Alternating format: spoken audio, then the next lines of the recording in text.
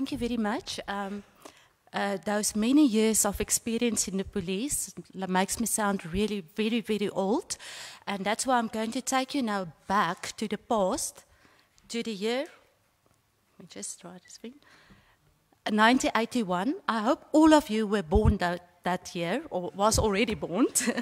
so, um, yes, 1981 was a very interesting year for the internet. It was the year that um, IP version 4 was first used, used in the public um, as a public protocol.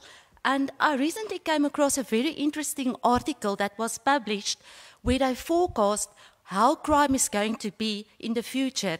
And I would like to share it with you. Computers will make the world of tomorrow a much safe place. They will do away with cash so that you need no longer fear being attacked for your money. In addition, you need not worry that your home will be burglared or your car stolen. The computers in your home and car will guard them, allowing only yourself to enter or someone with your permission. However, there is one kind of crime which may exist in the future computer crime.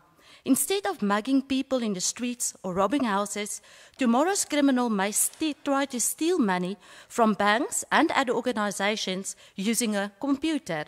The computer criminal works from home using his own computer to gain access to the memories of the computers used by the banks and companies. The criminal tries to interfere with the computers in order to get them to transfer money to his computer without the bank or company knowing that it has been robbed. Computer crime like this, in fact, exists already. However, it's very difficult to carry out a successful robbery by a computer. Many computers have secret codes to prevent anyone by their owners from operating them. As computers are used more and more, it is likely that computer crime will become increasingly difficult to carry out. Nevertheless, a computer criminal may succeed now and then, and the detectives of the future will have to be highly skilled computer operators. There will probably be police computer fraud squads specially trained to deal with computer crime. Now, looking back to that, it is quite a realistic, spot on prediction. And in fact, all around the world, each and every law enforcement agency these days have got a computer unit. Um, maybe not so much a computer criminal, but rather words like hackers is being used.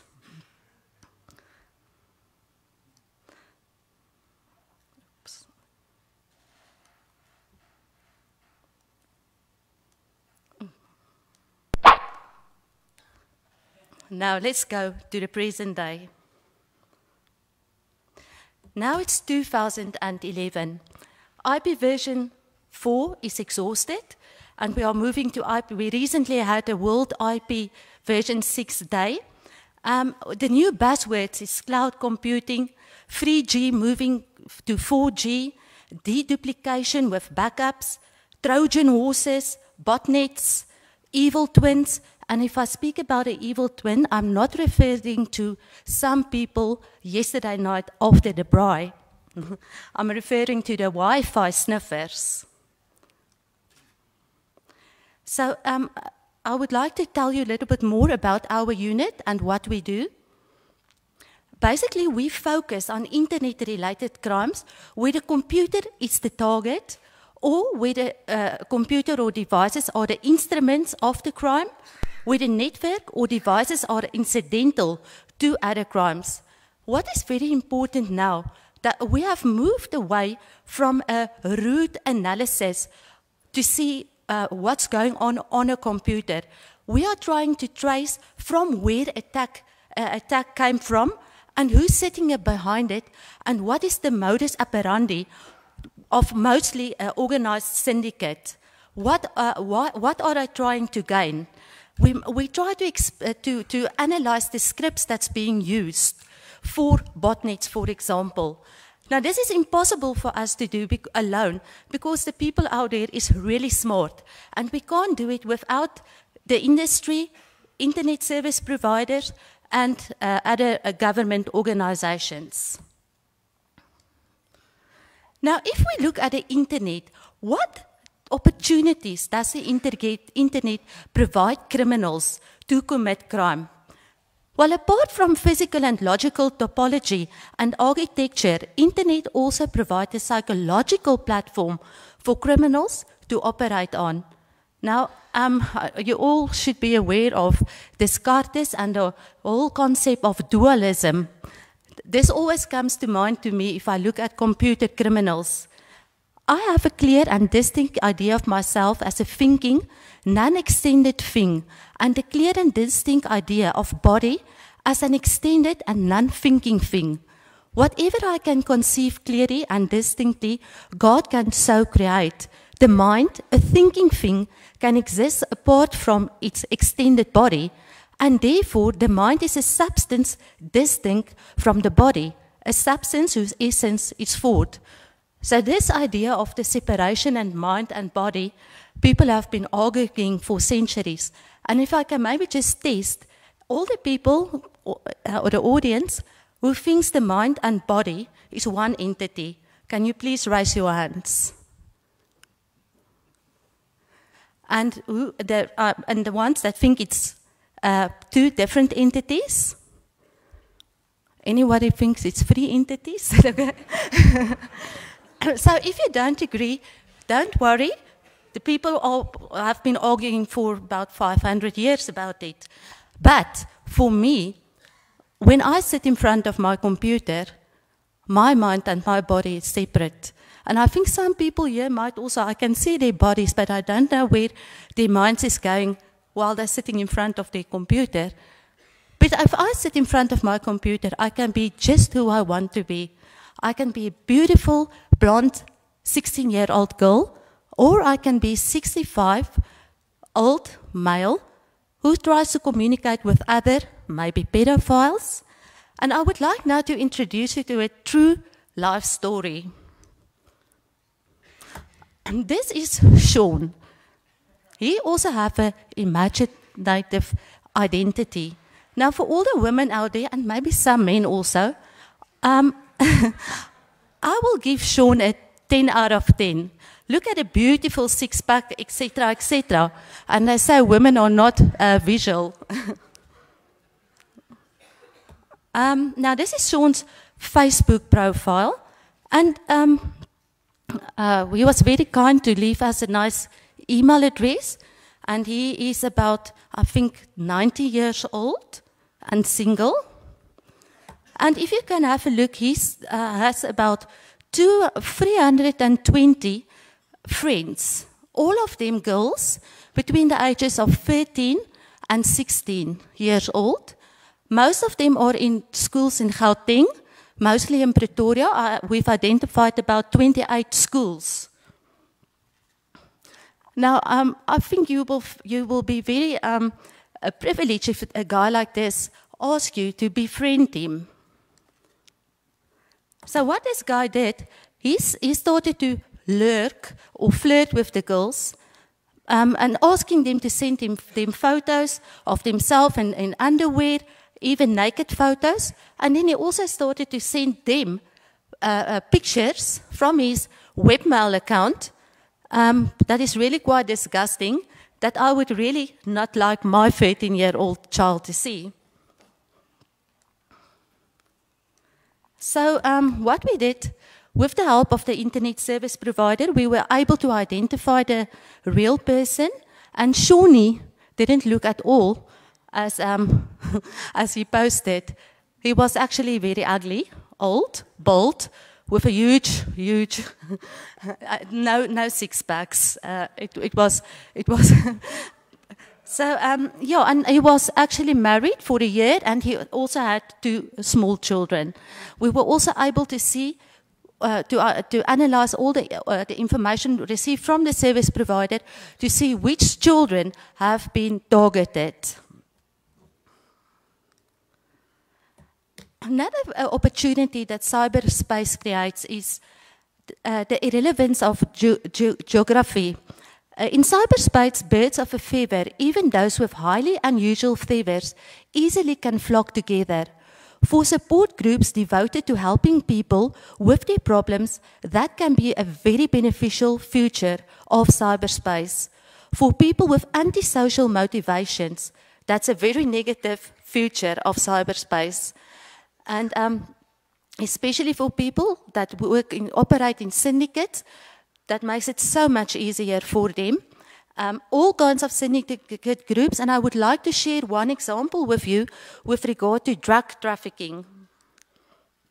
Um, yes, there was a very, very interesting, like the geeks will say, a sexy program that was written, an application for an iPhone, which actually can turn your iPhone into a cartel phone. Um, this is an application that was used as a location-based multiplayer online role-playing game. This is very nice because it can bring the seller and the buyer. It can introduce them to each other. It's location-based. So if I need some um, cocaine, for example, in Cape Town, I can go on this nice application and I can see who is who is the pushers there, who can provide the, the, the cocaine for me. And um, uh, you can also see what is the supply and demand. So, um, and, and uh, maybe the seller can provide it in by a better, for a better price. And very cool about this program, it can also tell the, uh, the, the, the, the, role players if there's any cops in the vicinity. Um, I would like, I, I, will just give you a small, quick um, uh, a video demonstration of how the program works. I just also have to mention that um, originally the program was called Drug Lords, and they made mention of cocaine and marijuana, etc. But then they changed it to another name, Underworld Sweet Deals, where they now sell different kinds of sweets. Um, so, for example, cocaine became a lollipop, etc. So, um, if you can please play the clip for us.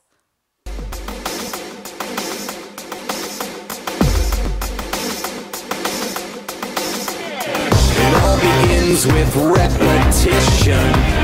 Needles moving to the on position. Scraping glasses if it was a tradition. Leaving us with this chronic affliction. We, this, greed, we are this time, time, we are this. This, we, we greed, we are